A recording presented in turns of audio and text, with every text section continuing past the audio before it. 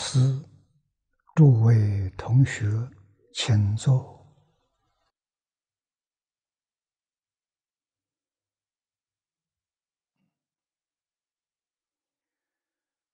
请看《大乘无量寿经解》第六百四十四面，啊，六百四十四面，第三行经文看起啊，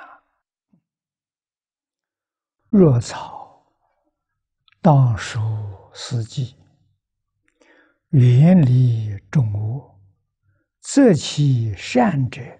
轻而行之，爱欲荣华不可长保，戒当别离，无可乐者。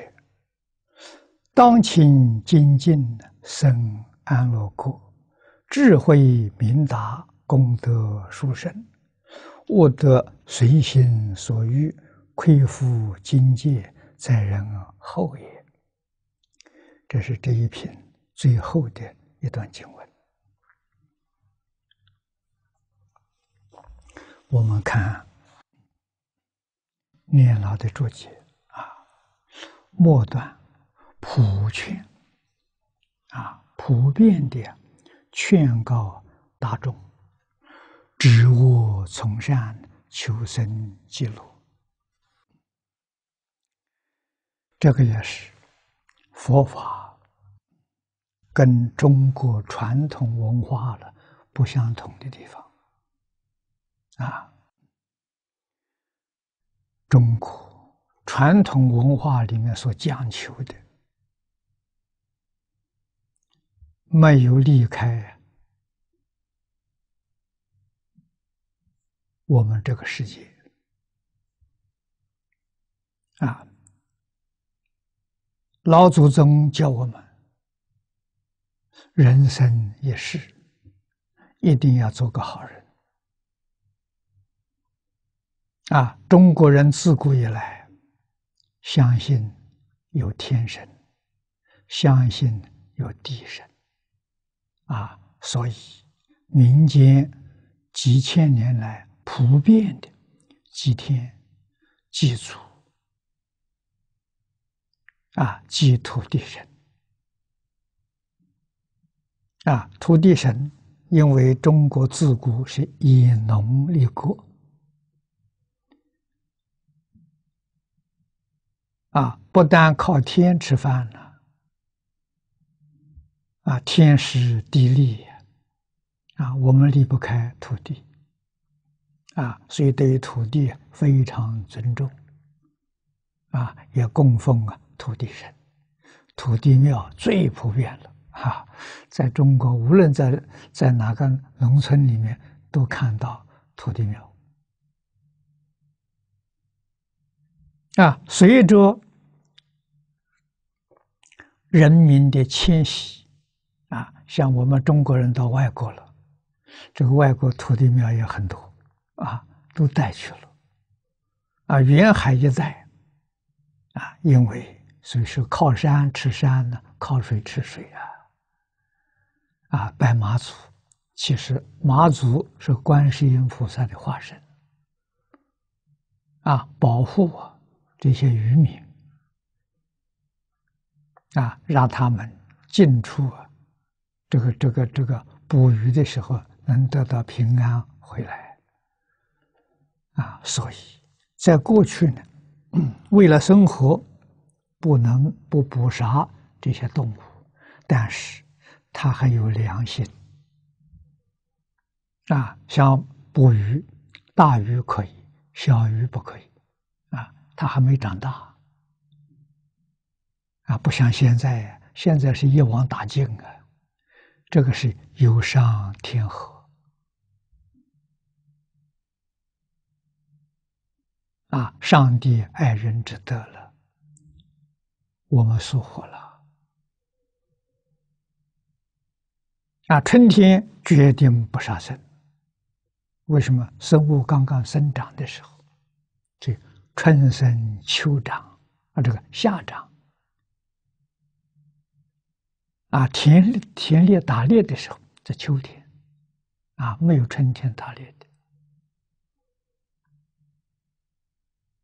啊，秋收冬藏啊，啊，所以人的行为一定要符合天道，啊，今天讲的大自然的秩序，啊，随顺自然的秩序。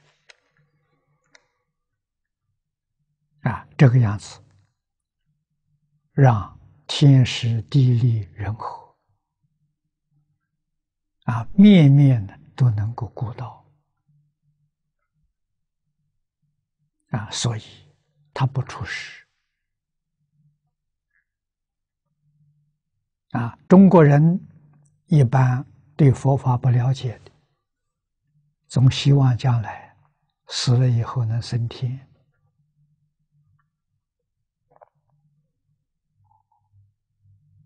啊，这是第一个期望。第二个呢，希望来生呢，生活比这一生过得更好。啊，能不能做到？能。啊，在佛法里面是凭无戒，无戒，不是人生。啊，这一生是人，来生还得人道，不会堕三恶道。啊，无戒是不杀生，不杀生等于传统文化里面讲的人。传统讲五能五常，五能是讲关系，人与人的关系。啊，换一句话说，一家人呐，凡是人皆需爱呀。啊，这是关系讲到了基础啊。那五常，常是永远不能够失掉的，做人基本的德行。那佛家的不杀生，就是无常里这个讲的人，仁爱呀，推己及人，想到我自己，同时一定想到别人，啊，这个意思很重要啊。啊，己所不欲，勿施于人。我自己不希望别人加于我的，我就不可以对待别人。啊，中国传统教育的核心是爱，父子有亲的亲爱。啊，教育第一个目标。如何能保持这种亲爱，一生呢不会变质？那这是教育第一个目标。第二个目标呢，希望把这个亲爱发扬光大。啊，爱父母，爱祖父母，爱曾祖父母，爱兄弟，啊，爱亲属，这个家族。爱邻里，在邻居邻里相当啊！爱社会，爱国家，最后推展出去，凡是人皆需爱，所以它是个爱的教育啊！自古以来，教育目的不是升官发财啊！孔子受过良好的教育。是中国最伟大的教育家，他的身份是平民。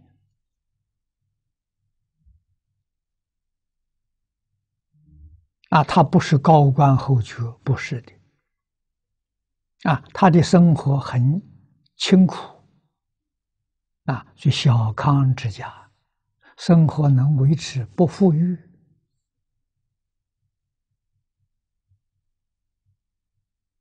啊。这都是做出榜样给后人看，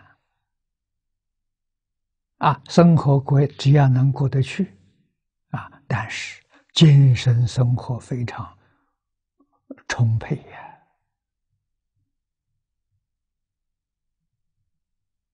啊，中国人把物质生活看得很低，啊，精神生活看得很很重。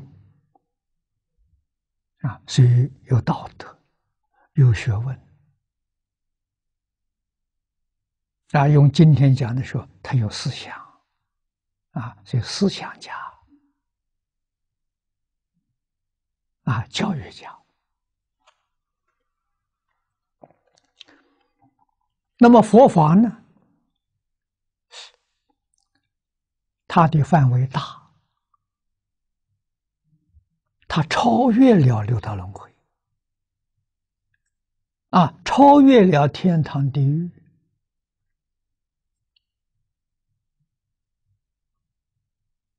啊，因此，在归属这一方面呢，跟中国传统文化不一样了，啊，他讲的是十方诸佛刹土。啊，特别重视的是弥陀净土。为什么？设方刹土虽好，条件很高啊！你没有没有具备这个条件，你去不了。啊，极乐世界条件不高啊。换一句话说，人人都可以去。啊，人人都可以成就，啊，所以有这样殊胜的方便法门，啊，祝佛推荐，祝佛赞叹，啊，都劝我们能够求生净土，啊，求生净土的目的何在呢？是去上学，啊，实际上来说，我们看释迦牟尼佛为我们介绍的净土，啊，净土到底是个什么性质？它是学校，它不是一个国家。西方极乐世界没有国王，没有上帝，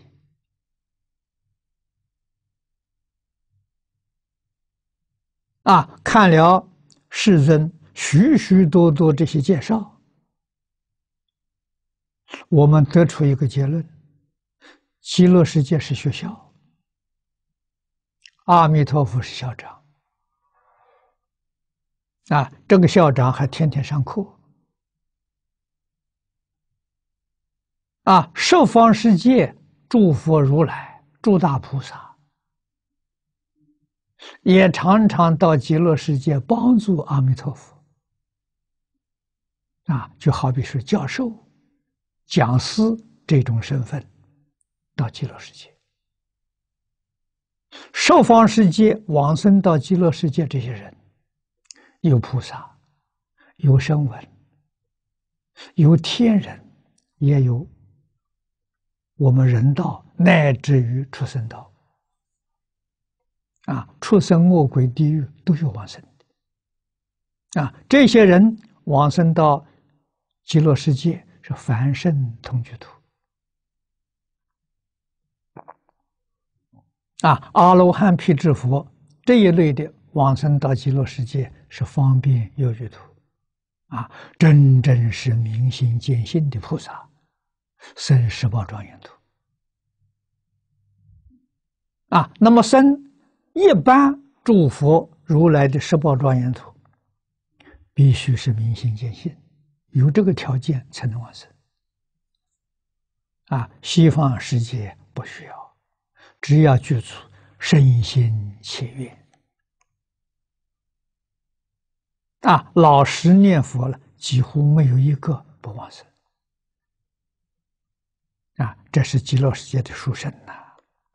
所以这一边首先劝我们要断恶修善。啊，止恶从善呢，就是断恶修善，求生极乐啊！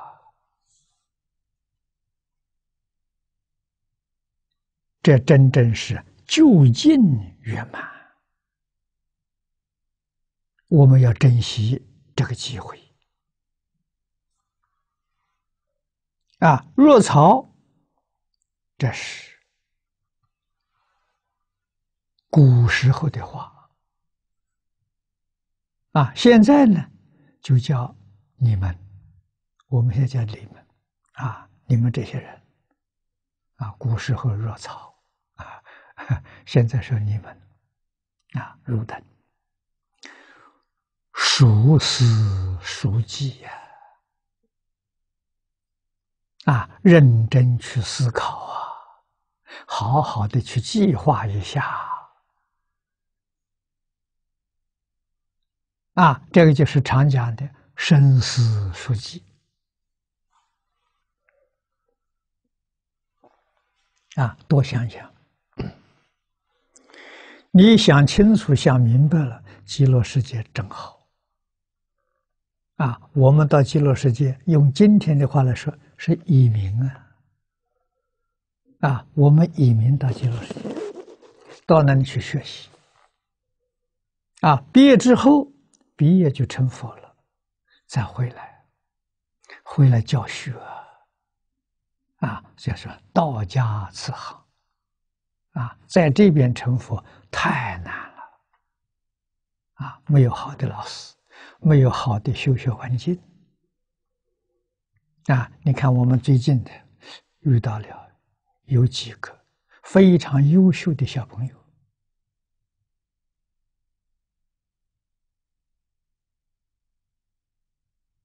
啊，七八岁。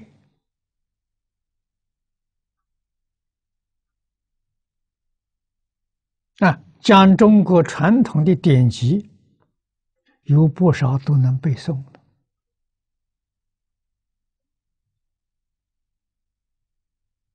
啊，家长都希望啊，培养他，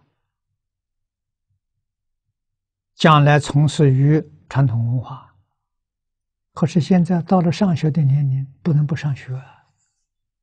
那一上学，当然受学校环境的影响，他就不能专门学传统文化了。啊，那么在我们先前环境里头，又没有私塾，啊，又没有这种学校，所以就非常困难。来找我，我也没有办法。啊，家长的想法是好啊，希望小孩一直学传统文化，啊，如果在过去念私塾，那是没有问题，啊，老师可以能够带你十年、二十年，啊，一直到你学业成就，啊，今天难了，啊，你不能不上学校。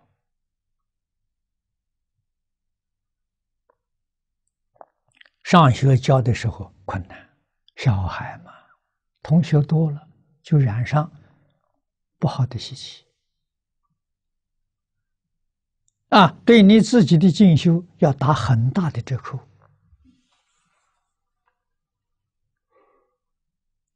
啊。用佛法来说，真正是圣贤再来的，是再来人，不怕，他能守得住。那不是再来人不行啊，肯定被污染了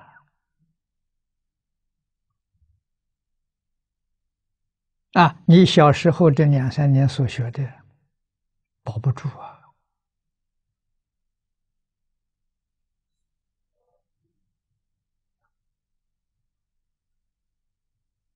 啊，自己教要加倍的辛苦。啊，过滤的学校课程又要焦虑的，也要教给他传统东西，啊，这些典籍，啊，所以现在很辛苦，啊，辛苦也要教，不能不教。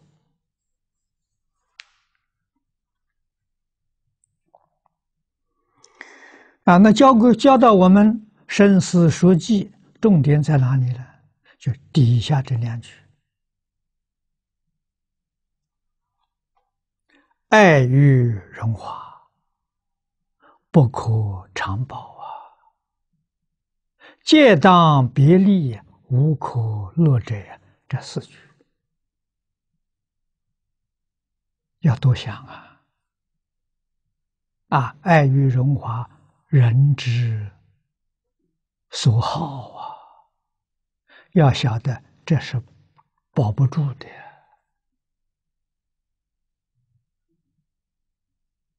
啊，是非常短暂的受用，一定啊要把它看破。啊，真正看破之后，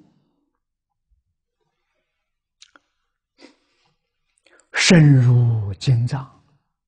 古大德有一句话说：“世味哪有法味浓啊？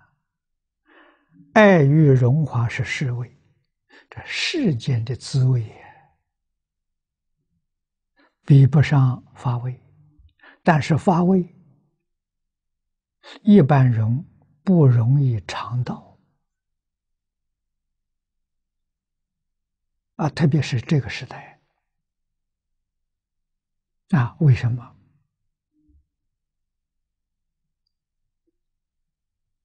法味是真的，世味是假的。你要想学真的，得用真心。那现在人没有真心，全是假的，虚情假意呀。不是真心的啊！真心是什么样子？印光大师常说：“沉静，真诚、恭敬。”这个态度现在没有啊！真诚恭敬呢？必须要从小去培养啊！现在从小疏忽了，父母都要工作，没人教他啊！祖父母照顾，祖父母溺爱啊，喜欢孙子，疼孙子，一切都随随他，那这还得了吗？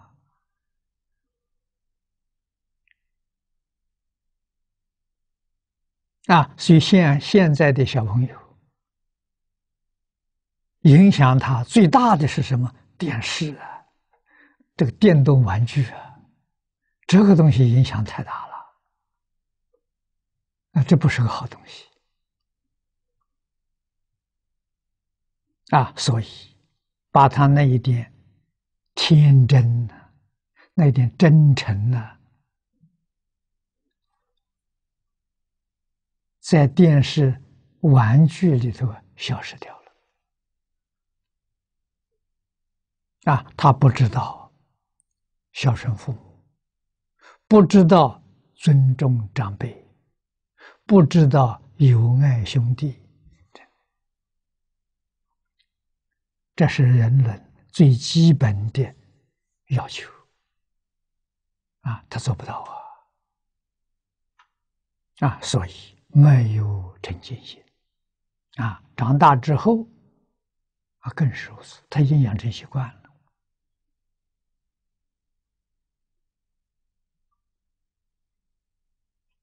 啊，表现在外面是浮躁，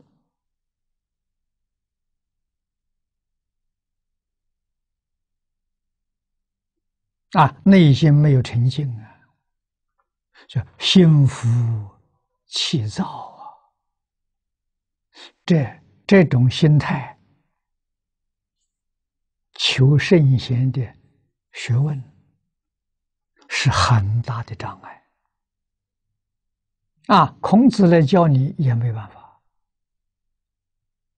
啊，那学经教更困难了。佛菩萨来教你，都教不好，为什么？你不能吸收。沉静心能吸收啊！印祖讲的好，一分沉静，你能吸收一分；十分沉静啊，你能吸收十分。那现在有几分沉静呢？几乎没有啊！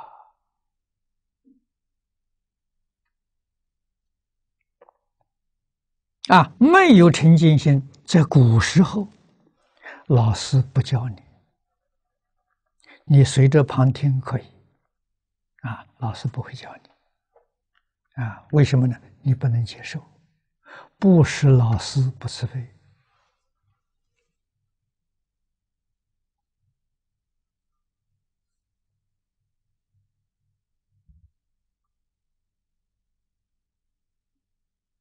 啊，这是些我们谈到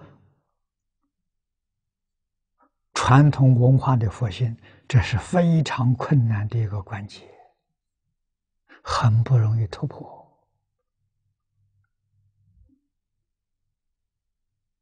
啊，学佛问题也在此地。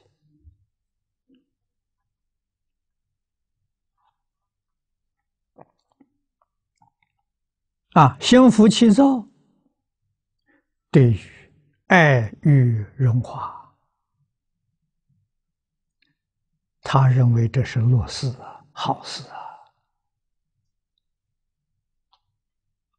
他天天在追求，他天天在享受，他怎么肯放弃？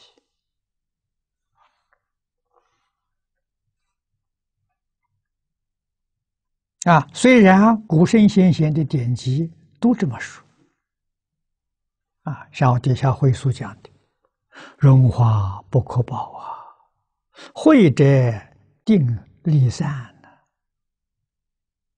爱欲不可长啊，胜者必衰故啊，颠倒忘乐无可故无可乐。”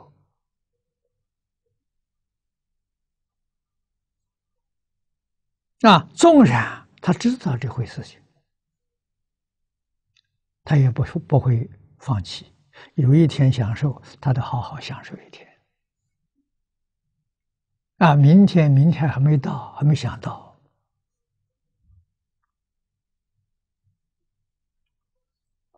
啊，所以这非常难，要人家放下名闻利养，放下了荣华富贵。这个在今天比什么都困难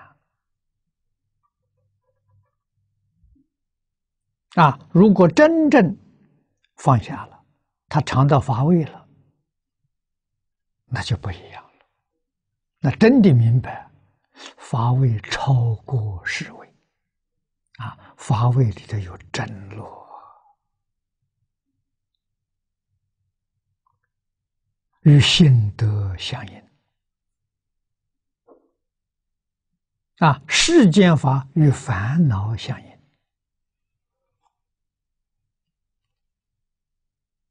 啊，与不善的心行相应，啊，那发乐不是如此，发乐确实，啊，与心得相应，啊，这是圣者之路，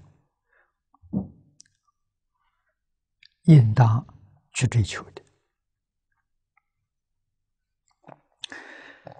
佛在这里讲的好，啊，如根道也如是啊，啊，荣华保不住，时间很短，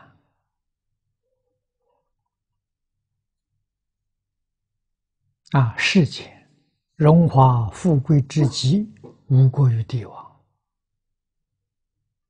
啊，我们看看历史。历代的帝王啊，他们能享受多少年呢？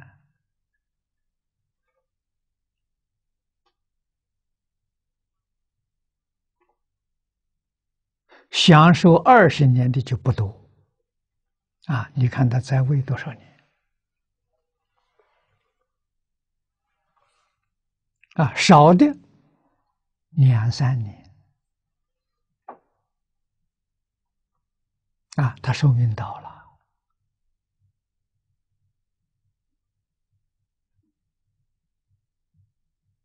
啊多的也不过是二三十年很难得了。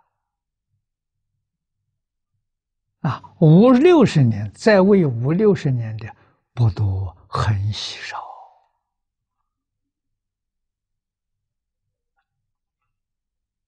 啊清朝康熙不错，那福报是真大，做六十年皇帝。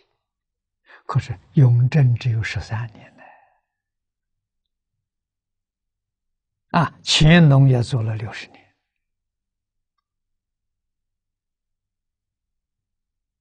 啊，往后时间就不长了，二三十年，十几年。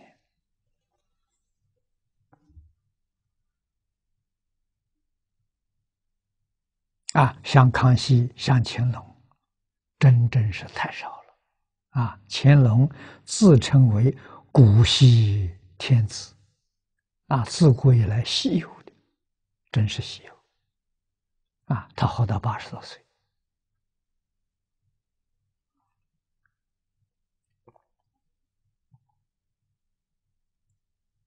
啊，寿命到了，再一转世，那福报享尽了，福享尽了，一转世的时候，那个不善的业报就现前了。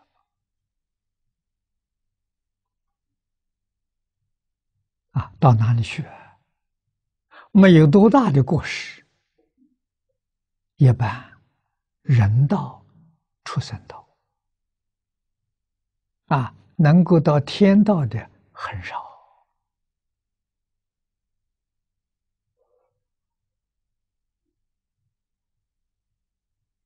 啊，这些只有真正学佛的人，他知道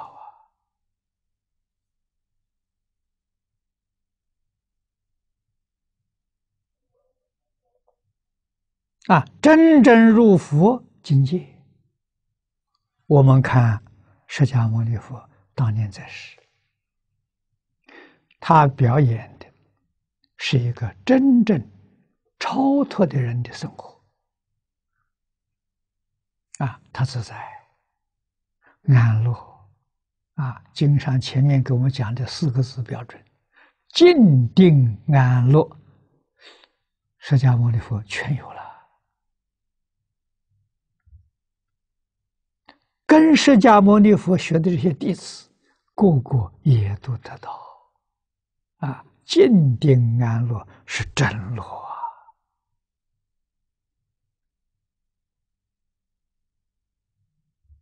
啊，比荣华富贵高的太多了。为什么？他这个享受，他没有忧虑，没有烦恼，没有牵挂。啊，自在无碍呀！啊，这世间法里头啊，找不到的。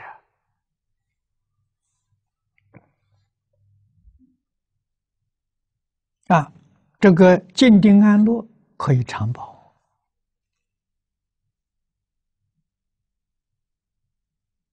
永远不衰，越修越快乐。啊，境界。不断的向上提升，它不一样啊！所以，趁世间呢，叫颠倒忘路。潘吉千曰：“一切世人以欲为乐，这个欲是财色名食睡，叫五欲。”以这个为乐，不知是苦啊！这五样东西不是真乐，能够有节制，可以得他的乐，不受他的苦。如果不节制的话，贪而无厌，五种都是害啊！确确实实。会把你的寿命呢减损了啊！极其纵欲享受，你付出的代价是寿命。你有八十年的寿命，可能六十年就想完了啊！六十岁死了。你付出了二十年的寿命的代价，不值得了。啊，还有更早的，四十几岁就走了，啊，三四十就走了，啊，他那个享受不过十几年而已。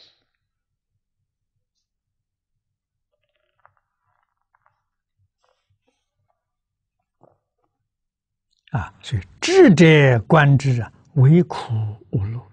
啊，真正有智慧、真正了解事实真相的人，他看到了，啊，没有乐，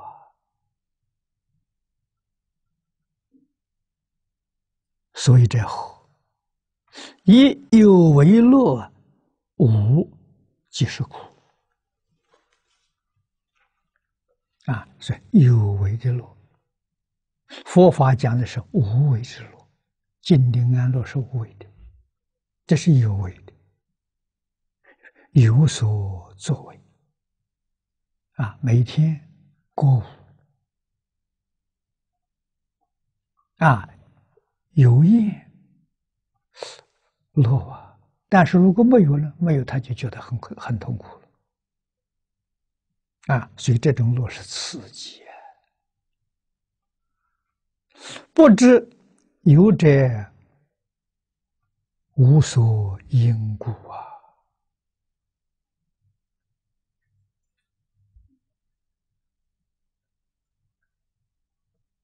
啊，你所有者无所因呢？以德为乐呢，实际是苦；不知得者实所因也。上面的无所因跟此地实所因是一个意思。你把你那个乐的因失掉了，你就感觉到很苦。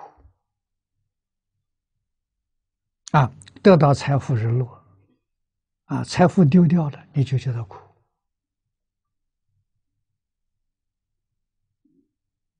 啊，所以佛他是无为的，他不要财富。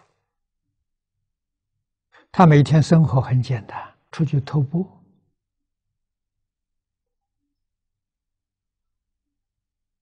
啊，三衣一钵，这个意识方面，他永远没有苦啊，他真的是快乐自在啊，知足常乐。大概世间法主要的这个痛苦啊，就来自不知足。所以欲海难填呢，啊，那个欲望像大海一样，永远填不满。换一句话是，永远是觉得不够，啊，永远痛苦，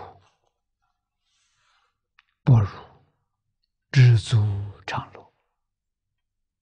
啊，知足这是无为之乐。这以聚为乐呢，散即是苦。不知聚者，散所因故啊。有聚就会有散。以生为乐呢，呃，灭皆是苦。不知生者灭所因也。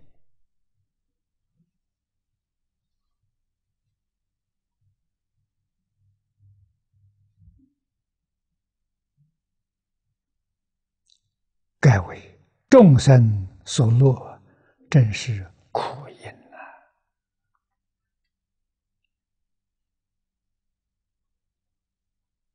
所以是乐极生悲也，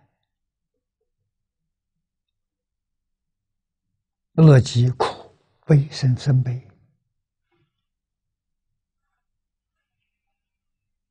啊，乐要失掉了，也感觉到苦。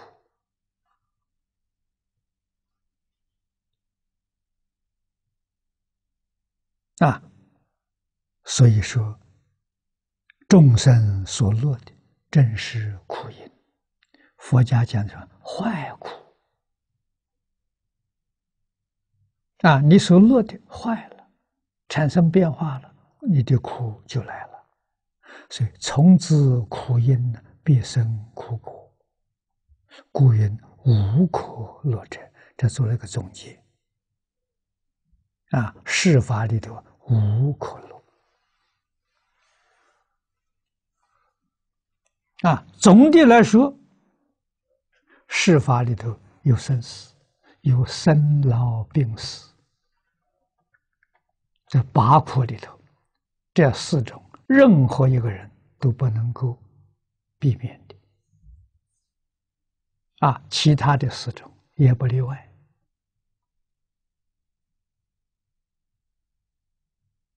啊，爱别离苦。怨憎会苦，求不得苦，后头有个无因之生苦。无因说烦恼太多了，无因之生就是烦恼太多啊，妄念太多啊！啊，佛给我们讲了八种苦啊，叫八苦交煎呢。啊一定要觉。啊，离开这八种苦，那就叫乐。啊，所以诸佛菩萨觉悟了，这些东西全舍掉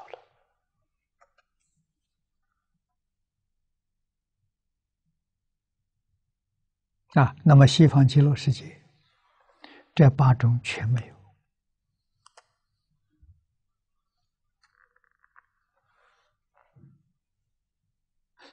所以叫极乐啊！西方极乐世界，我们去化身，它不是太深，太深有苦啊！极乐世界的人不老，寿命很长啊，无量寿啊，他不老啊，他不生病啊。那他永远不死啊！啊，我们从经本里面得到的信息，我们生到极乐世界，寿命是有量的无量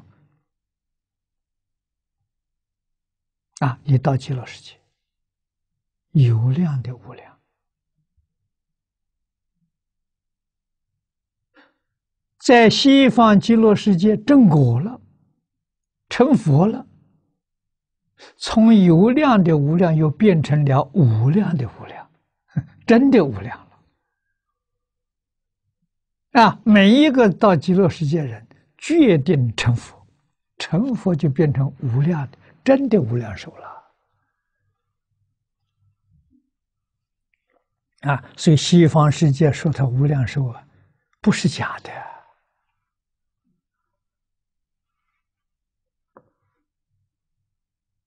啊，古大德有说，西方极乐世界寿命是有量的无量，啊，包括阿弥陀佛，啊，但是我们清楚，有量会变成无量，啊，为什么？妄想、分别、执着，通通放下了。就变成无量的无量了，啊！所以凡圣同居土，烦恼习气没断，有量的无量；方便有余土亦复如是，也是有量的无量。啊！十报庄严土是无量的无无量了，真的无量。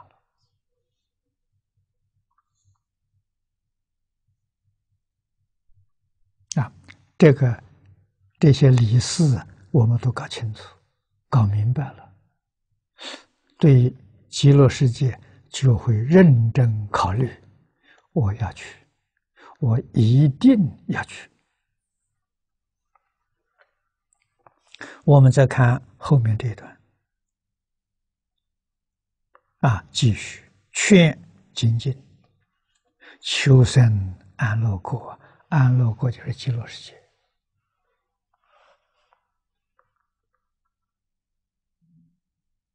啊！这个世界名副其实，确确实实平安快乐啊，得生彼国，皆悉智慧明达，功德殊胜。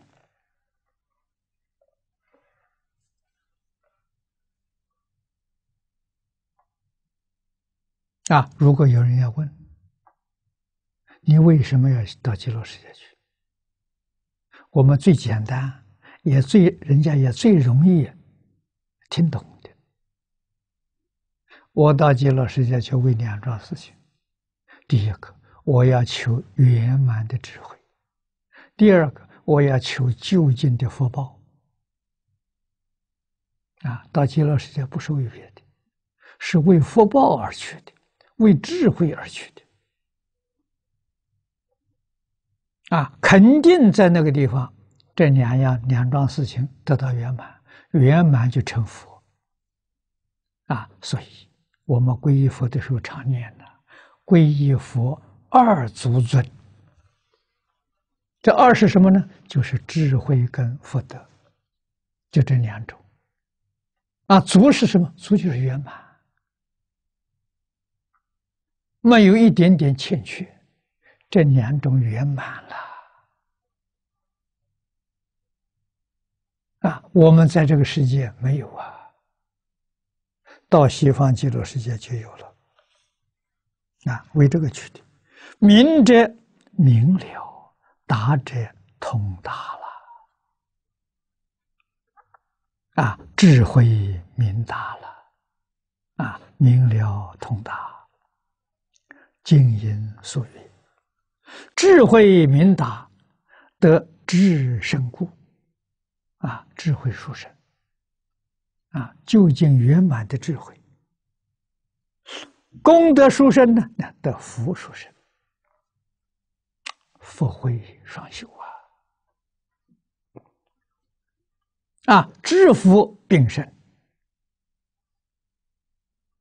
超胜。啊！一切声闻缘觉，诸天都不能跟他相比。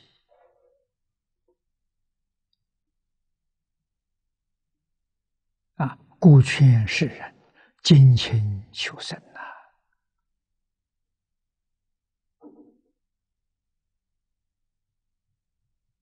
啊！世间求不到的，到极乐世界全都得到了。啊，并借之曰。啊！只告诫，勿得随心所欲，亏负境界，在人后也。啊！千万不能够随顺自己的欲望。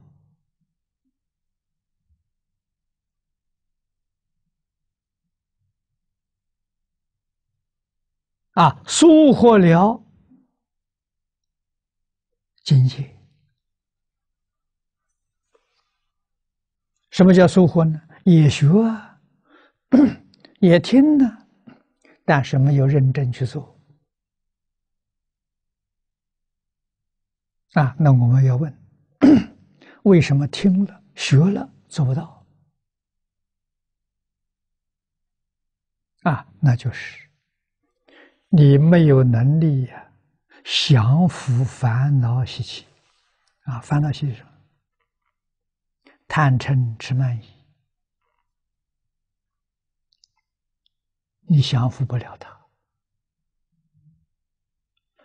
怨恨恼怒烦，你控制不了他。啊，他常常会发作，常常起现行。于是，你每一天生活在烦恼习气当中啊。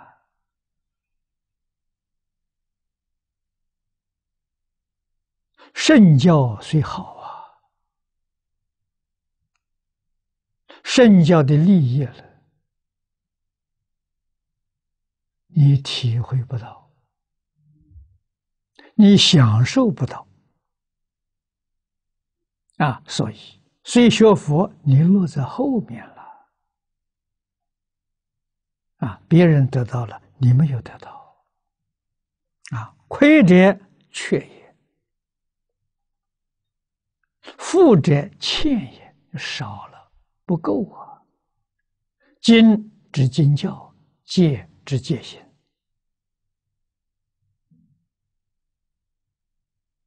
啊叫亏负境界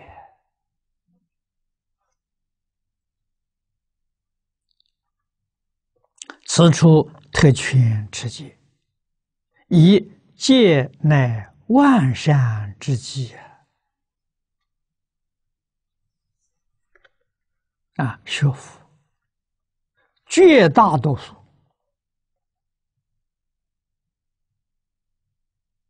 都把戒看清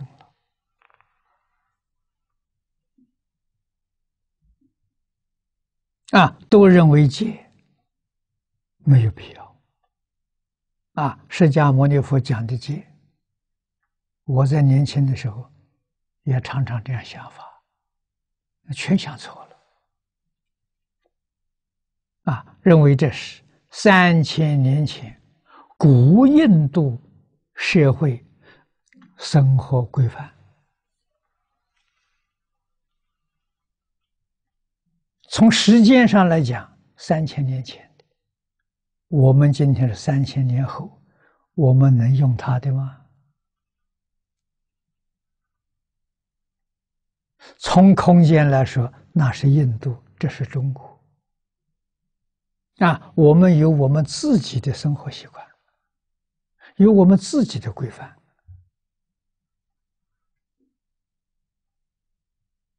啊，我们的这些规范还随着时代。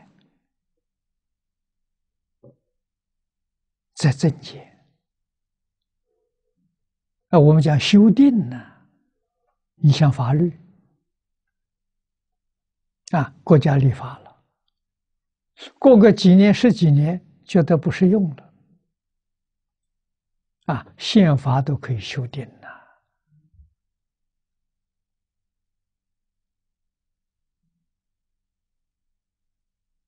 啊，由于这种想法。对戒律就不尊重，爱好经典里面所说的道理，他说的好，啊，我们学这些东西，那就是什么？佛经变成哲学了，啊，喜欢这些东西了，变成学术了，变直了，啊，所学的佛经知识。不是智慧啊！诸位要知道，智慧是从清净心里面流出来，自信呐！啊，从分别执着的心里面流不出智慧啊！那我们是道道地地。用的是分别执着心，那哪来的智慧呢？啊，美其名可以说一句：我们这是世间的小聪明。啊，这个有，这对的，没错。啊，世间聪明才智啊，不是智慧呀。智慧从。清净心、平等心里面生出来的啊，清净心生出来的小乘智慧，平等心生出来是大乘智慧啊。我们的心不清净，有妄想、分别、执着。啊，阿罗汉有本事，他能把执着放下，于世出世间一切法不再执着了，所以他才生一点小智慧。啊，菩萨不但执着放下了，分别也放下了。所以，菩萨的智慧高过阿罗汉呐！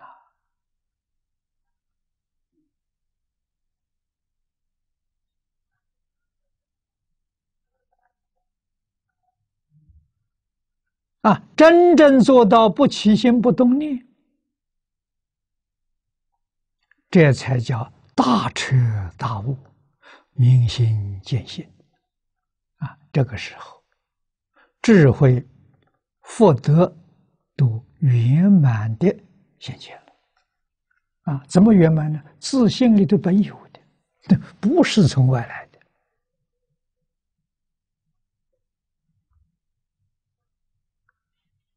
啊！要知道，外面没有智慧。外面也没有真正的福德，啊，只有自信里头才真有啊！啊，大乘佛教教导我们放下便是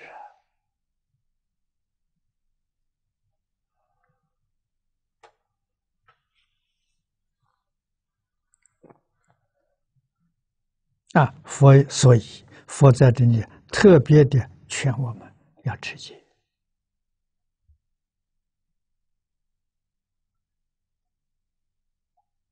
这个戒怎么持法？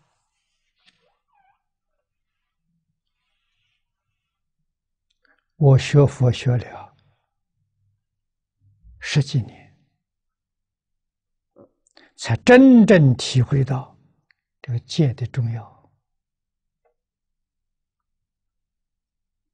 没有戒的根基，就像盖大楼一样。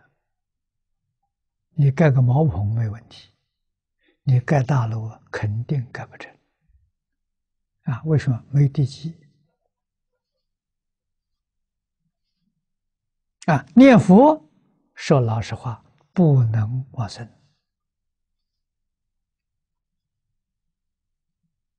这个要知道啊。念佛法门得生净土啊，还是戒为基础啊！啊，我们展开经卷，经上称呼的善男子、善女人，啊，那我们问自己善不善？啊，善的标准就是无戒是善。如果无戒十善没做到，佛经上叫的善男子、善女人，你没份呐，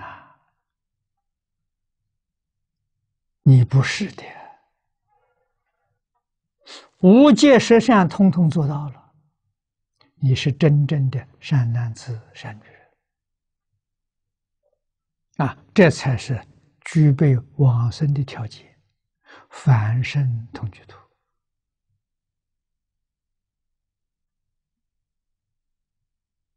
那么今天为什么无戒十善做到？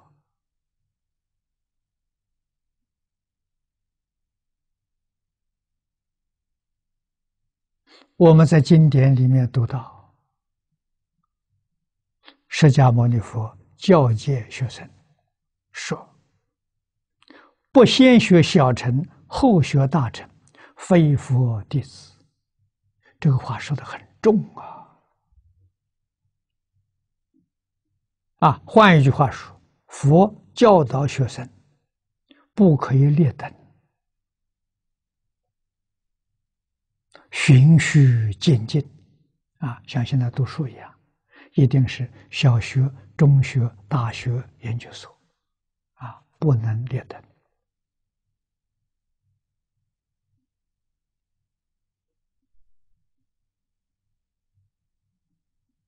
于是。佛法是师道，我们明白了。释迦牟尼佛老师啊，师道一定是建立在孝道的基础上。人要不孝父母，怎么会尊重老师？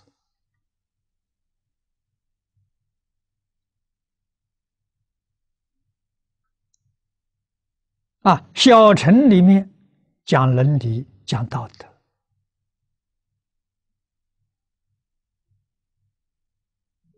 啊，那是扎根教育。我们中国古圣先贤懂得这个道理，所以对于小乘经教啊非常重视啊。隋唐时代，小乘有两个宗派：陈师宗、居士宗。啊，学佛都要从这个地方开始，奠定基础，然后再学大乘，啊，提升呢学大乘。所以小乘的经论翻译的很圆满了。啊，我们大藏经里面小乘经叫四阿含。啊，《四阿含经》跟南传巴利文的藏经去对比，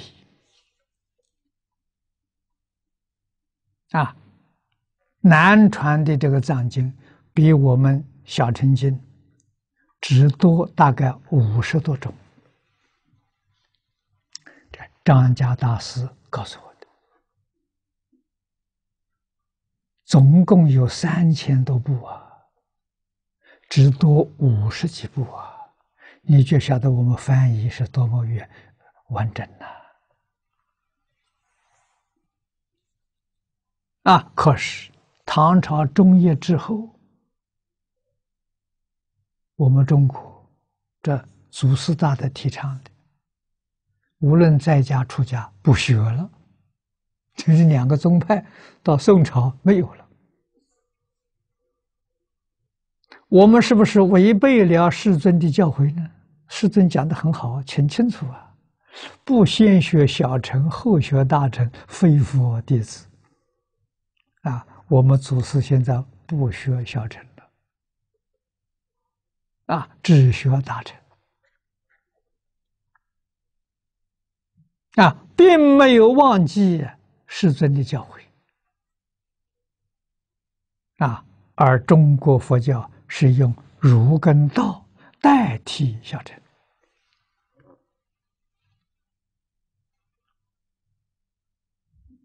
这一千三百多年来，佛教在中国高僧、高士，出家是高僧，在家是高士，居士，人才辈出啊！成绩非常可观，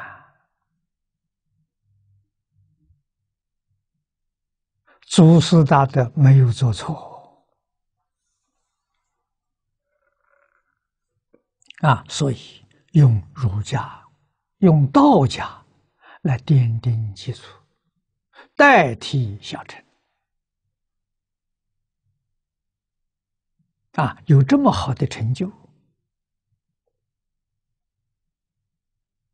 真的应该是一千三百年前啊，中国儒释道的关系就非常密切了。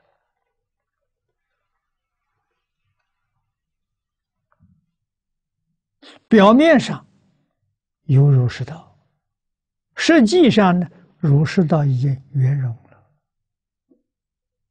啊，因为儒。他读佛经，他也学道，啊，儒道的经典他都学，啊，道呢，他也学儒，也学佛，那佛呢，一学儒，一学道，所以里面呢，它就融成一体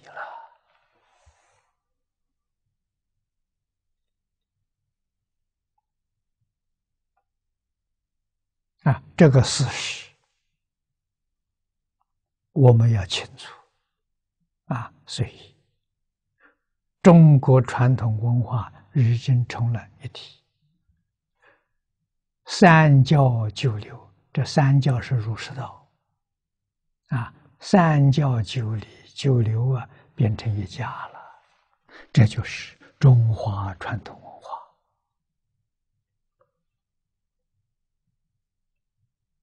化。啊，它是三教九流混合一体。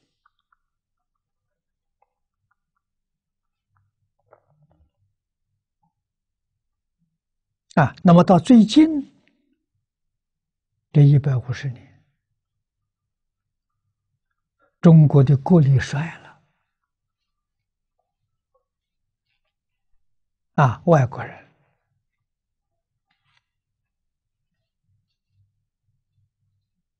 以战争为手段，中国打了几次败仗，签订不平等条约。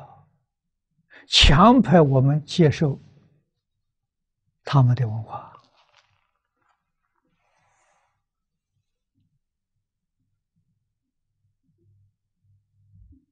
啊，我们受了这个影响，很不幸的，自己丧失了民族自尊心啊，民族的自信心丧失了，什么都是外国人好。啊，中国不如人，自己承认的。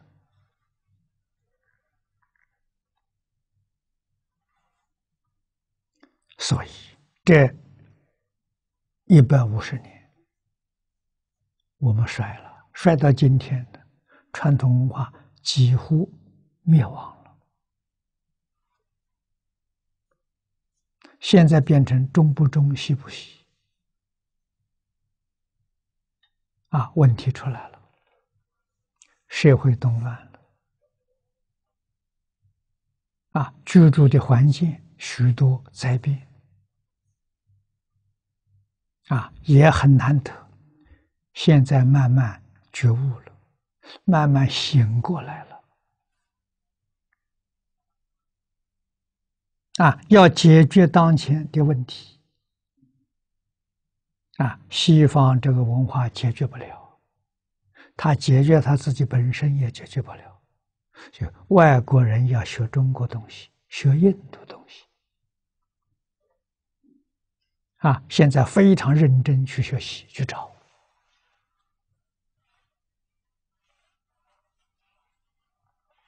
啊，他能不能找到？能找到，是不是真找到了？没有，为什么？没有真诚恭敬心啊！典籍他找到了，他不能欺负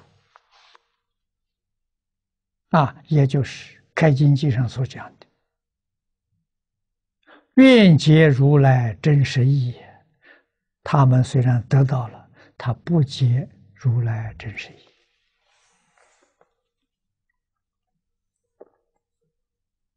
啊，好在最近这三十年，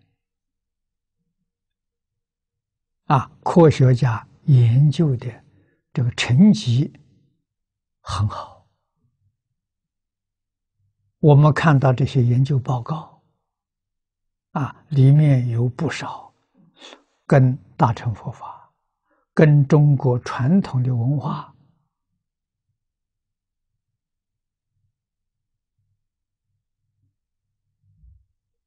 逐渐的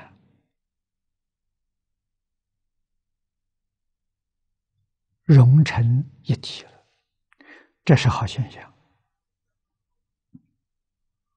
啊，这个现象帮助外国人肯定中国传统文化的优异，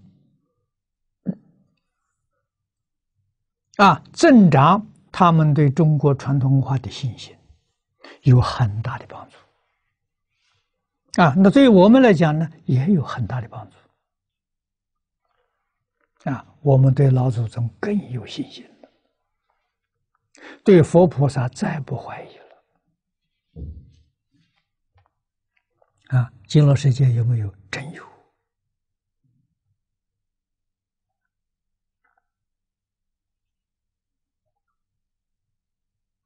啊！明心见性有没有？真有。啊！佛经上讲的阿赖耶，阿赖耶是宇宙的缘起，啊，万物的缘起，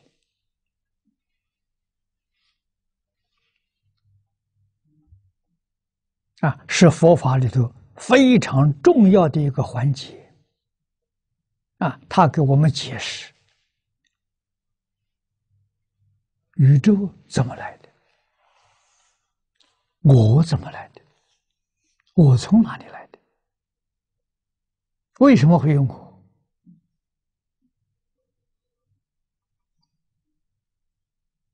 这是哲学跟科学里头的大问题啊！啊，《大乘经论》跟我们讲的很详细啊，虽然讲的很详细，我们看了还是疑惑啊？为什么？他说的跟我们的常识完全不一样。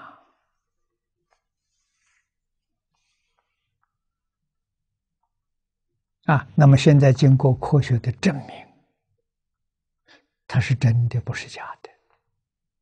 啊，我们回过头重新再去研究这些大乘经论，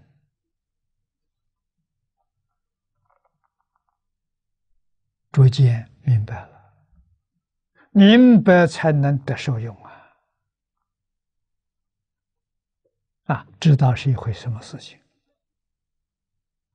啊？我们这一生。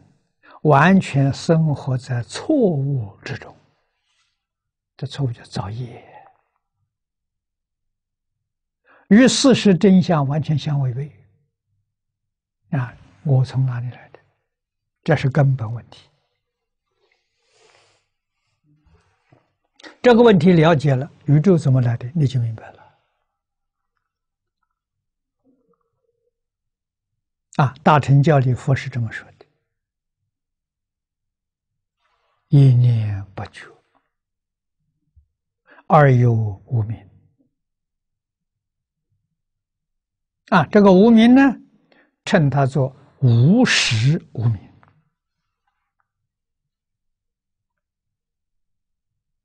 这些名称含的意思就很深了。一念不觉，没有原因。一念不觉，没有时间，所以叫无时。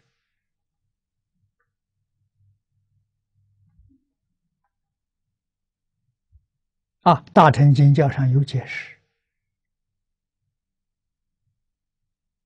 无是什么意思呢？就是当下，没有过去，没有未来，这这在当下了。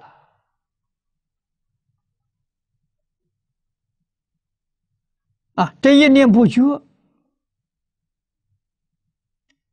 出现了一个无名的现象。本来自信是明，明达了，这经上常讲啊，啊，明了通达了，这无名说不明了了，不通了，就发生障碍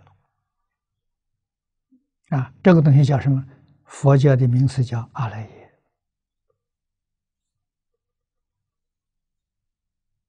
啊，阿赖耶里面产生的现象，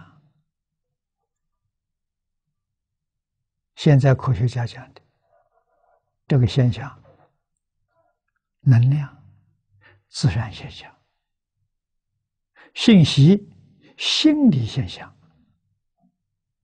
物质这三种现象，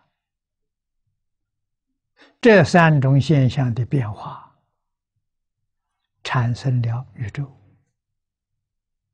啊，这个变化是自然变化，不是人为的，没有人设计。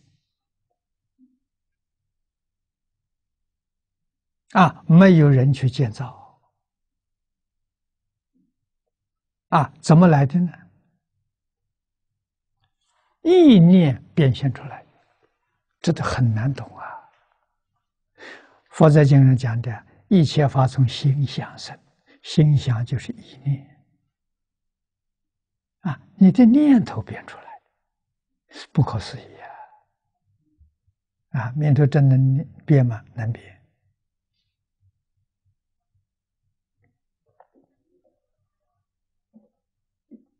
啊，日本江本博士在琵琶湖做的这个水实验，这个实验做成功了，说明我们的意念真的能改变山河大地。啊，日本的琵琶湖是非常大的一个湖泊，像海一样，面积很大。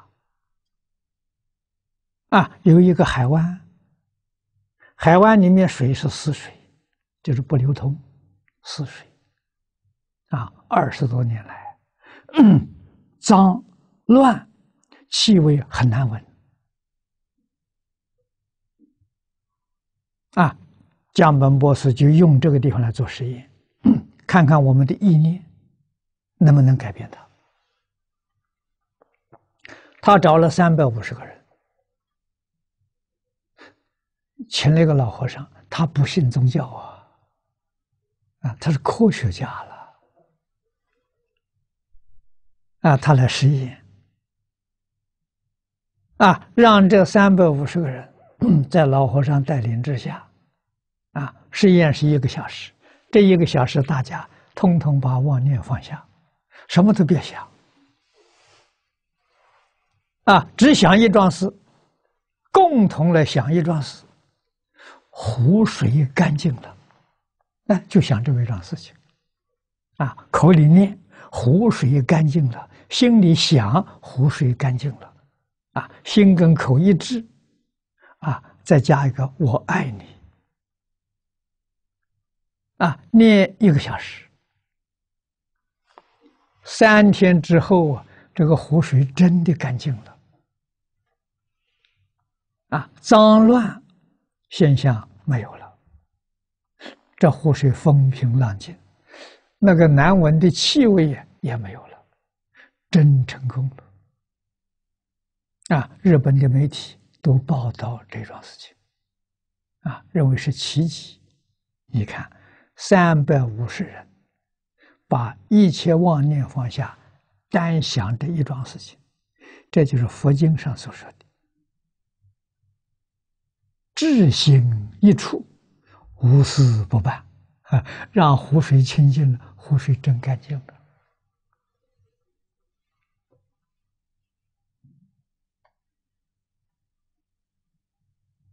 啊，干净了多久呢？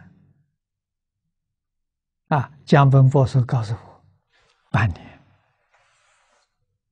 半年之后啊，他又变成老样子了。啊，所以这种意念呢，就像祈祷一样嘛，管用，有效，治标不治本。啊，怎样才治本呢？记住。佛在经上常常给我们讲的，一切法从心想生。如果我们心地清净，我们心里头没有杂念，啊，没有这些不善的念头，它这个湖水就永远清净，啊，就不会再变质，啊。这是用教学，所以释迦牟尼佛在世，从开悟那一天开始，一直到圆寂，四十九年，天天讲经教学，讲经教学治本啊！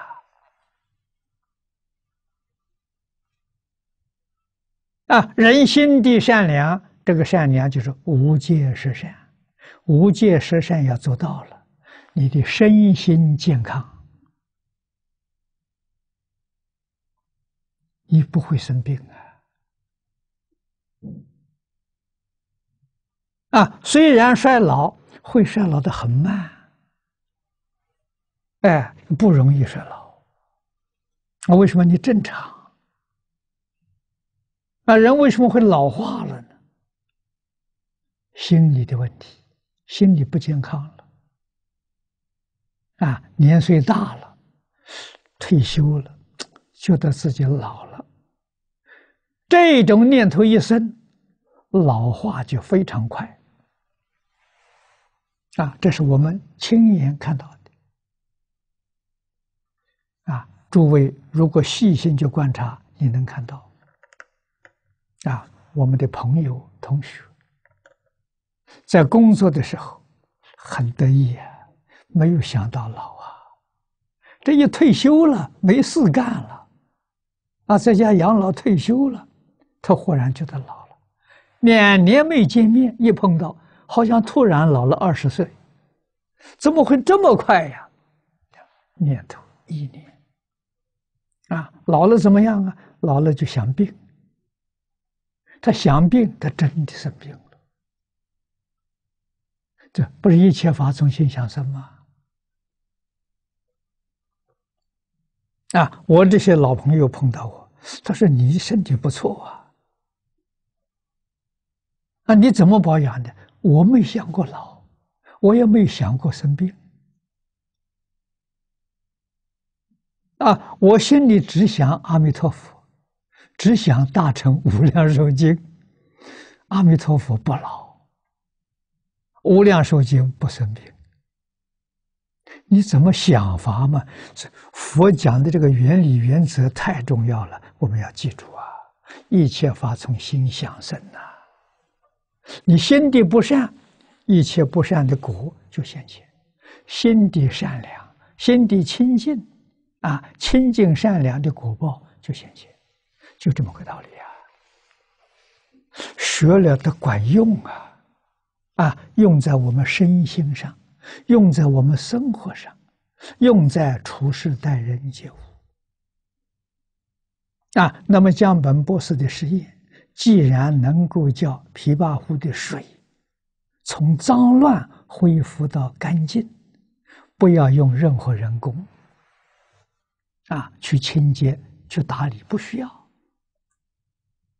啊，用意念就把它摆平了。那么今天我们看到地球许许多多灾难，用意念能不能摆平？肯定能摆平。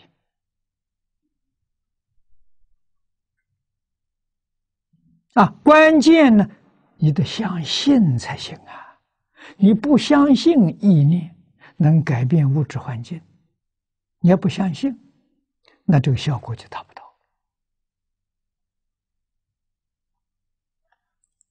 佛这么教我们，难得现代物理学家也是这样教我们。我们把佛法跟科学一结合，这种疑惑大幅度的减轻了，这好事情。相信科学，相信三千年前佛所说的，啊，我们真正能够放下万缘。啊，就像美国科学家布莱登所说的，啊，他说明年灾难严重啊，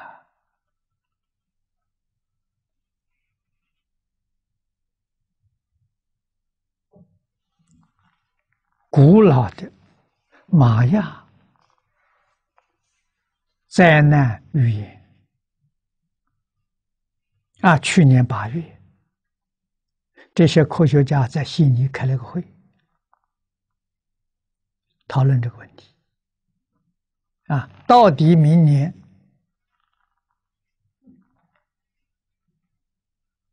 银河对齐是真的，这个不是假的。啊，就是银河的中心，太阳跟地球排成一条直线。啊，这是天文现象。啊，明年决定是有。啊，天文学家都计算出来，对地球究竟有什么影响？有两派，两派势均力敌，啊，等于说一半一半，百分之五十认为玛雅灾难预言是真的，啊，另外一半呢，他否定。啊，认为玛雅语言不可靠，啊，影响是肯定有啊，不会像他那样说的那么严重的影响。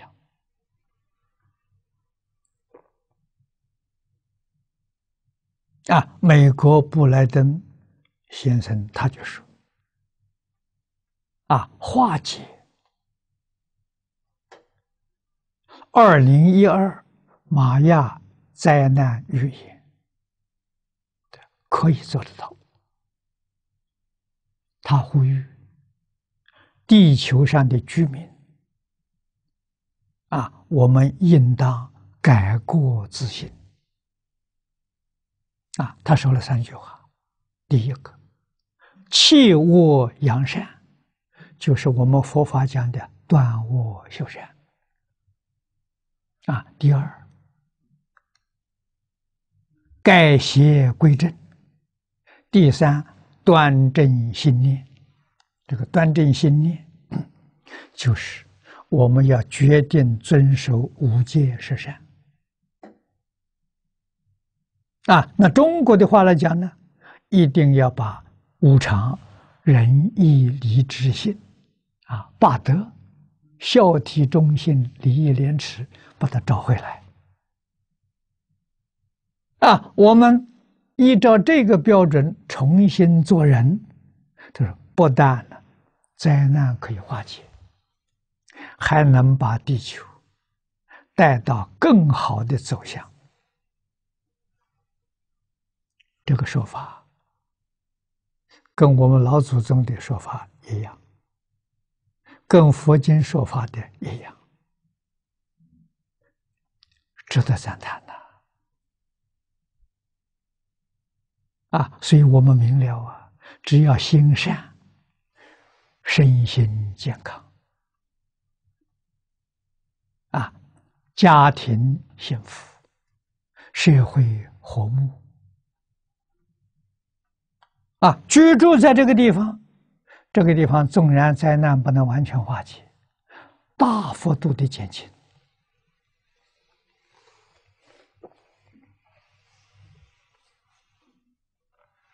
啊，科学家的预测，明年这个银河对齐的灾难，啊，最轻应该是影响我们。通信的。这一方面，啊，电磁波会受影响，啊，换一句话说，人造卫星现在的太空人很多，这些卫星可能全部都失效了，啊，那这对我们的影响呢？对通信产生影响。啊，对飞机的航行，甚至于轮船在海里的航航行啊，会受影响。啊，磁极要改变，那指南针就不准了，不准确了。啊，这种影响是可能的，引发大的地震、海啸。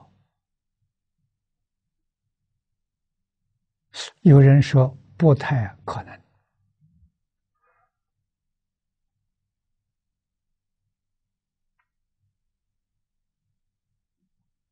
啊，这都是提供我们做参考的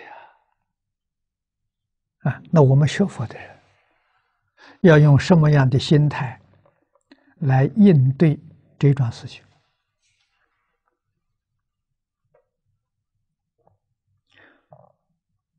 我们懂得布莱登所说的三句话，跟佛经完全相应。啊，断恶修善，改邪归正，端正心念。我们的端正心念是老实念佛，啊，真正去念佛。啊，现在我们明了，佛法里头大善。至善，究竟圆满的善是什么？是阿弥陀佛啊！我们能把阿弥陀佛放在心上啊，就像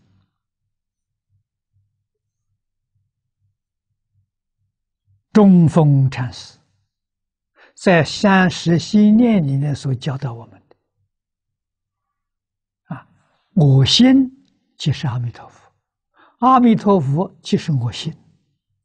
这一个换掉的，这心里头不要想别的，只想阿弥陀佛。除阿弥陀佛之外，通通放下，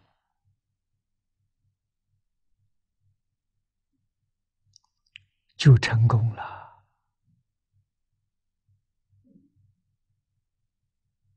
啊，再加上我们现在提倡的落实《弟子规》，落实《感应篇》，落实《十善业道》。出家，我们在落实沙弥律仪，认真去学习。啊，一无量寿经，一这一句六字红名，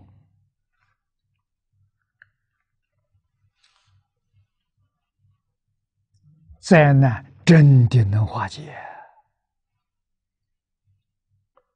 啊，现在在世界上净宗同学这么多，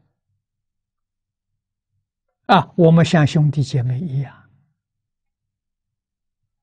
啊，大家。都能守住这个目标，啊，心上只有阿弥陀佛，行为上面决定落实《弟子规》《感应篇》《十善业》《上弥律仪》，啊，老老实实这样去做，我们身心健康。纵然有灾难，对我们没有影响。我们居住的地方不能完全化解灾难，也会大幅度减轻灾难。自利利他了，功德不可思议啊！我们要认真努力去做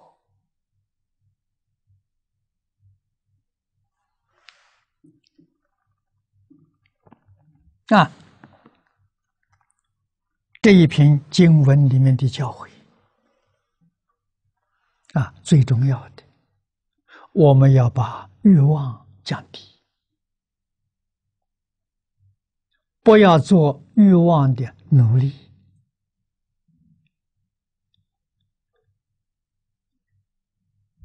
啊！真正彻底断我修善。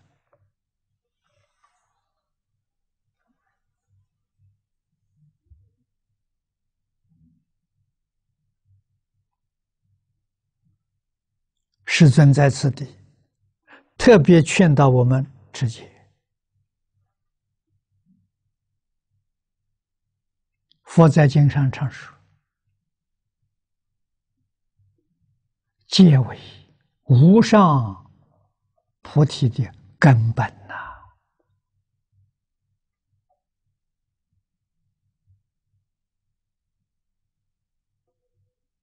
往生西方极乐世界。”是求无上菩提啊！世出世间一切善法的根本啊！我们的真感呐！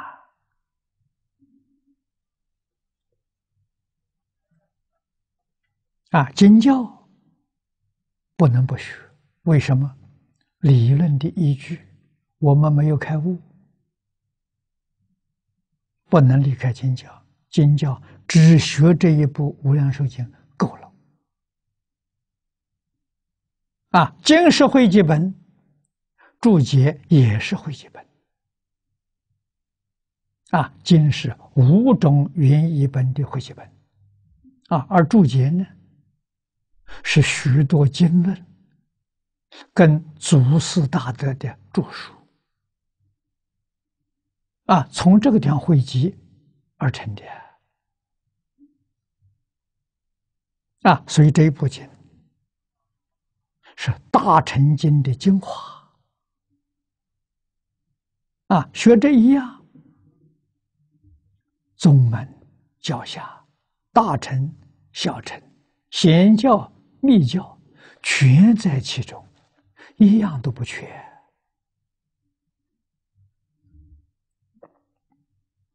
啊，这个本子是宝中之宝。啊，经典成为法宝啊！法宝当中第一法宝，我们要有这个认知啊，啊要真正的相信啊！啊，什么叫真相信？你真做就相信了。啊，你没做到，不是真心。啊，这是造孽我受戒的时候，李老师教教我的。啊，受完戒之后，他说你要真信佛。啊，我们听了感到很奇怪。啊，我出家两年才受戒，啊，而且这两年教佛学院，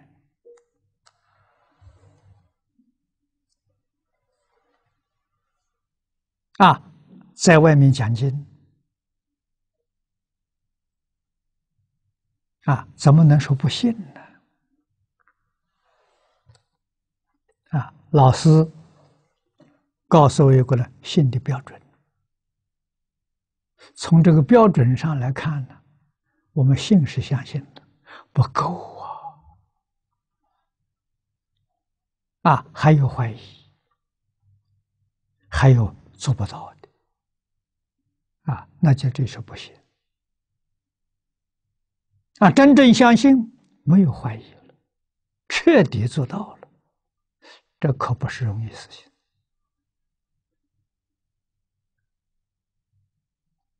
啊！所以这些年来，我自己觉得很安慰的，我的信心年年在增长，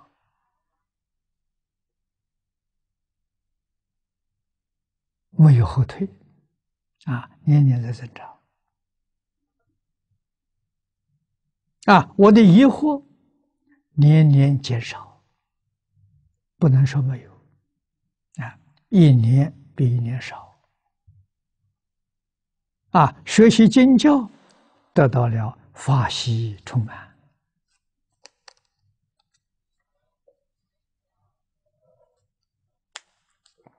啊，这些是好现象，啊，一般人来讲呢，这有进步啊。啊，没退转了。啊，现在年岁大了，体力不如从前。啊，时间我相信也不是很长，所以我把全副的精力都用在念佛上，都用在这一部经上。啊，晚年其他的不讲了，专讲这一部经。啊，还有同学问，《华严经》要不要讲？啊，这一问呢，也难倒了我。啊，《华严》怎么办？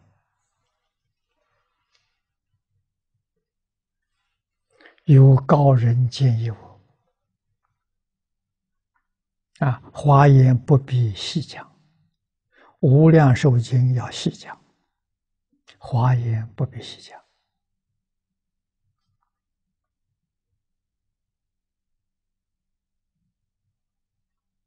啊，华严只是讲大义，点到为止。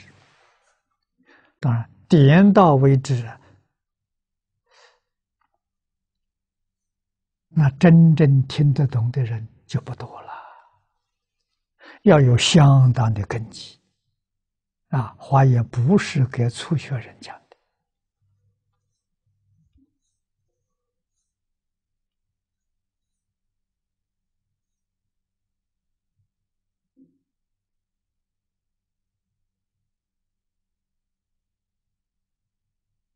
啊，取重点。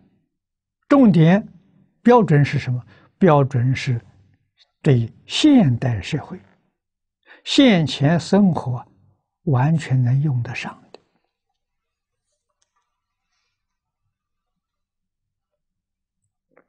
能帮助我们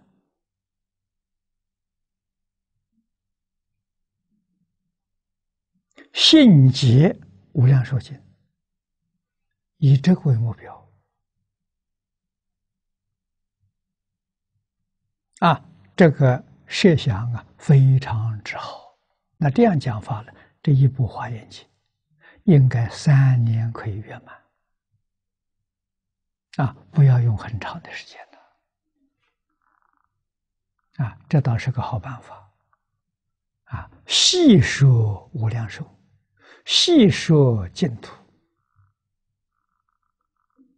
啊，希望每一个同学，每一个念佛人都能够往生净土。啊，这是那这跟经上讲的就不一样了。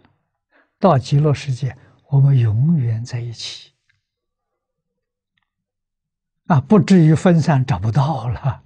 如果在六道里面呢，生死离别之后。以后很难碰到，碰到也不认识。啊，极乐世界可以，啊，永远在一起，啊，每个人都认识，啊，这这是好事情。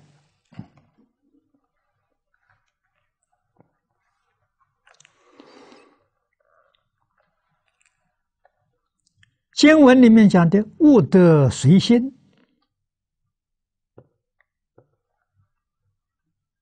所欲亏负境界，在人后也。啊，物得随心，涅盘经人，常为心思，不为私心。啊，这两句话怎么说法呢？黄念老有解释：该私心自用啊，乃行人大事。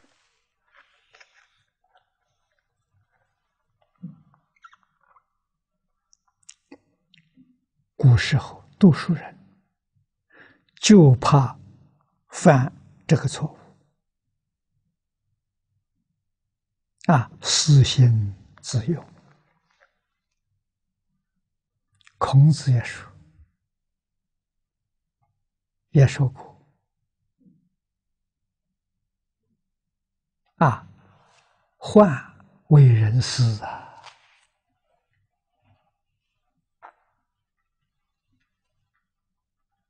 孔子自己非常谦虚啊，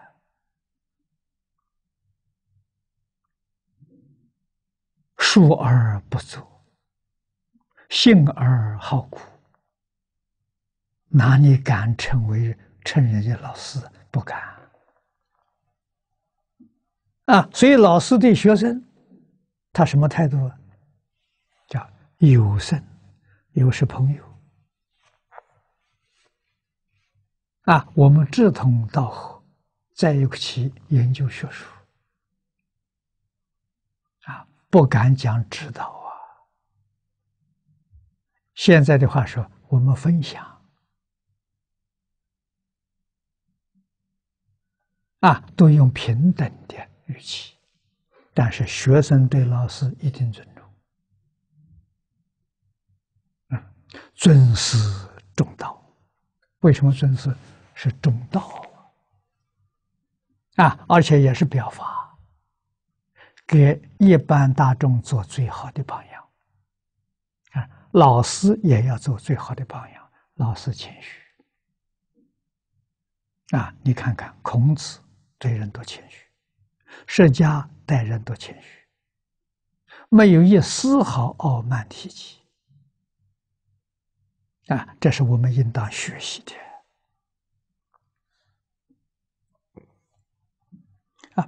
因此，妄心呢，正是生死根本啊。常为心思，不为私心。这个心是妄心，不是真心。真心不会有这个念头啊。真正圣人，他没有这个念头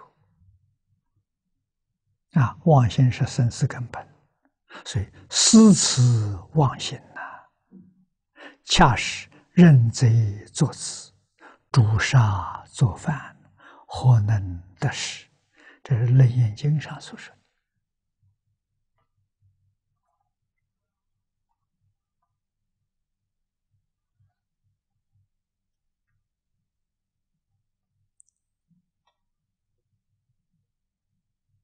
妄心是妄心有念头，就是有分别，有执着。那现在我讲我的看法，我的想法，你看看没忘记我，我就是虚妄的啊！我没有了真知、真见，就出现了。啊，只要有个我在，麻烦就大了。这也是佛法跟世法不相同的地方。啊，佛法一入门，就把身见放下了。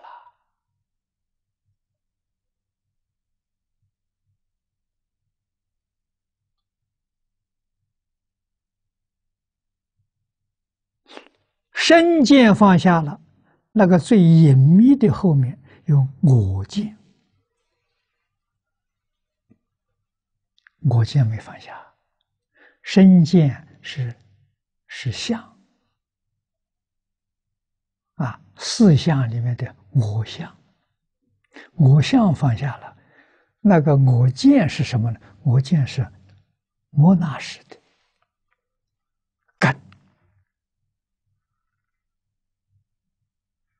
啊，那是一根呢，所以《金刚经》前后两半部啊，清清楚楚、明明白白。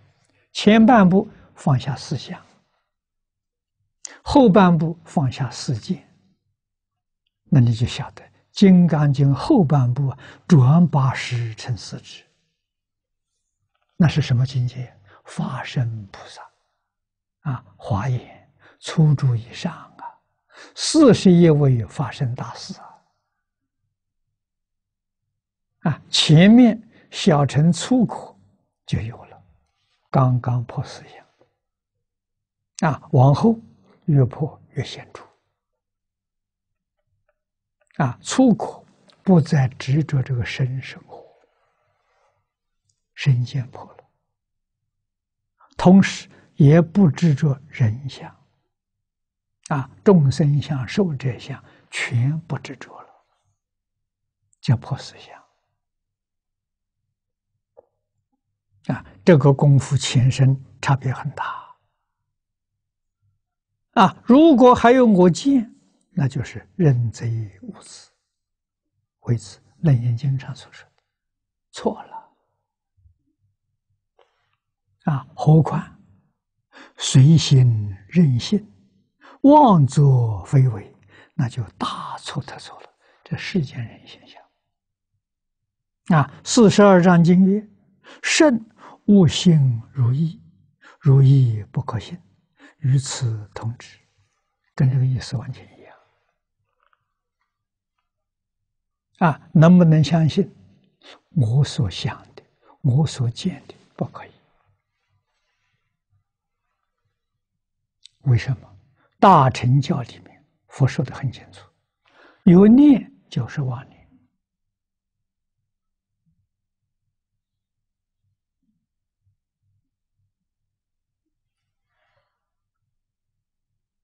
真念、无念呐，连无念也没有，有无两边都没有，这才叫正念。苦乐两边都没有，才叫极乐。为什么呢？那是性德现前的啊，没有落在意识里头啊。只要有细微的执着，就出不了六道轮回。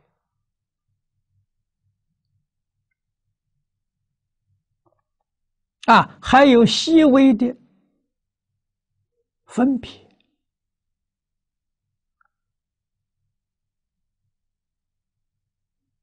就不是菩萨了。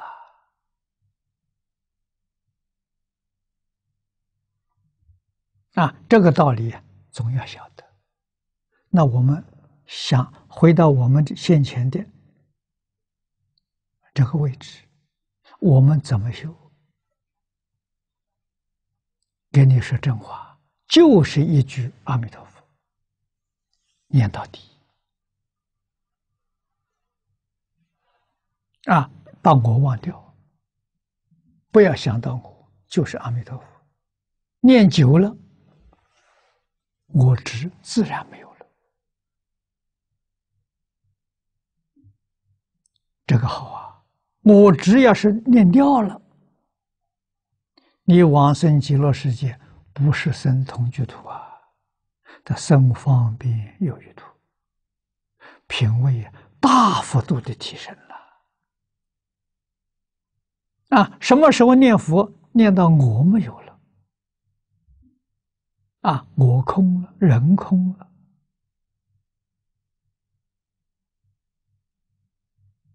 念到这个境界了，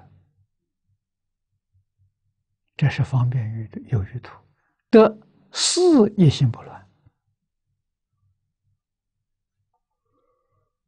啊，凡圣同居土里面得一心不乱。那是功夫成片，这个很容易得到，人人都可以得到，得到功夫成片，往生自在了，往生有把握，想什么时候走，争取得了。啊，念头一动，阿弥陀佛真来接你。啊，因为什么？你没有杂念。你起心动念跟六道、三善道、三恶道都不相应，一的念头全是阿弥陀佛，这比什么都要紧，而且我们都能做到的，啊，做不到的不谈，啊，我们要一定要能做到的，这才行，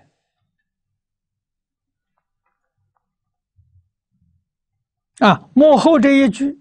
在人后也，叫落后于他人。他人是什么？念佛往生的人，包括那一些生到边地的人，那我们都不如他。啊，生到边地，说老实话，也就生到极乐世界了。啊，不过是去的时候。要耽误一段时间，不能见佛，不能闻法。啊，这个后面会详细说明为什么会有这现象。啊，我们能把这些毛病改掉，真正一心念佛，不怀疑，就不会有这个现象。啊，要相信。佛有圆满的智慧，相信自己决定得生，你就不会生遍地。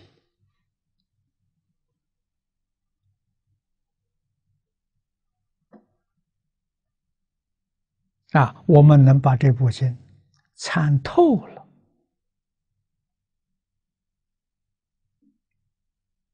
上辈往生呢，有可能呢，不是没有可能。善导大师的话说的不错，四土三杯九品，总在语言不同。我们的语言非常殊胜呐！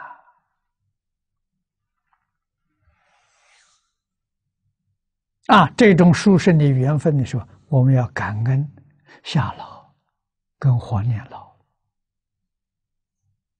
啊，这个缘是他们给我们的。啊，他们一生的精血就在这个本子里头。啊，以这个本子给我们做增上缘。啊，说恭敬一点，以这个本子加持我们。啊，我们要感恩，认真学习。今天时间到了。